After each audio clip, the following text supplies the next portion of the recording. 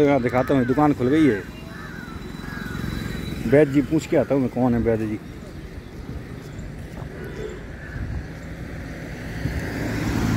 तीन मोड़ रोड पे।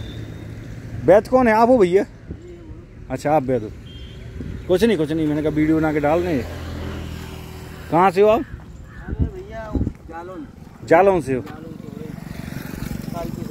तो आपको जानकारी है सब है? कि आपको किसी ने सिखाया है?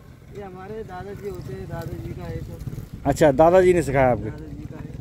क्या नाम आपका? है समाधान। समाधान। समाधान। समाधान। इनको इनको ये हिमालय जड़ी बूटियों की दुकान है यहाँ पे। ये अंदर दवाई रखी हैं। यहाँ आके देख लो।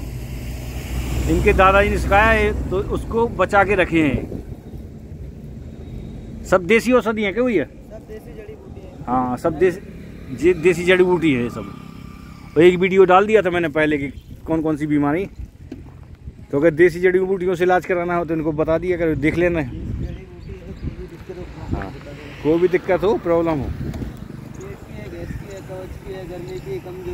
है है बताओ बताओ कौन वो सब चीज़ों की हमारे आयुर्वेदिक दवा है हाँ। हाँ इससे कोई ना नुकसान होगा ना कुछ लो भाई नुकसान नुकसान कुछ नहीं है आयुर्वेदिक दवा है ये। आयुर्वेदिक लिखा रखा है, हिमालयन आयुर्वेदिक जड़ी बूटी की हम ये यहाँ पे लगा है तालाब के पास।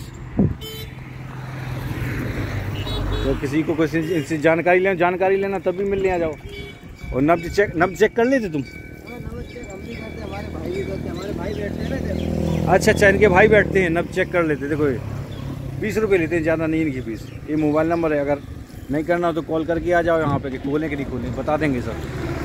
यहाँ पर मैंने दाल चीनी, आल चीनी होती ना, उससे इलाज करते हैं। देसी जड़ी बूटी है